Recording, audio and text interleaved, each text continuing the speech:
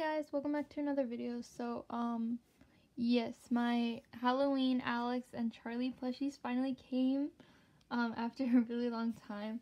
Um, funny story, I had to literally, like, leave during my online test for school because I knew these were going to be limited edition and during the time that they came out, I was in the middle of a test, so I literally left to order these.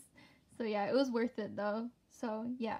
So first I'm going to show you Charli. She's really cute because she has a cute little like pumpkin theme outfit on. And yeah, she has these little um, cat ears too. And she's really cute. And then we have Alex. Um, she's so cute. She has little cat ears and um, the outfit is just adorable. And um, she has a little, um, she has a little bell here.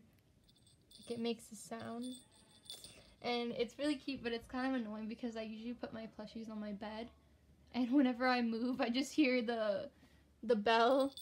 So yeah but um, it's really cute. I'm really happy with them and then they also came with these cards. So here's the Charli one and here's the Alex one.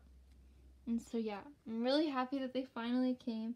Um, I also ordered some fairy tale plushies so I'm hoping those come soon too.